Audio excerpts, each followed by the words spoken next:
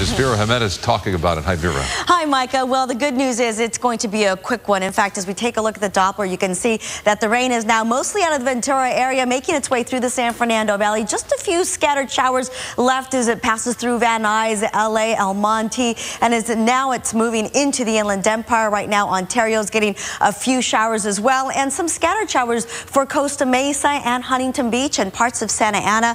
But as you take a look at the microcast, this is what it's looking like at 10 p.m. You can see that overnight, those showers will continue to taper off, and by tomorrow morning, Thursday at 9 a.m., most of the activity has actually passed out, and by the afternoon, we will have nothing but mostly clear skies. It's going to be a really nice afternoon. I'll have more of that coming up in just a little bit.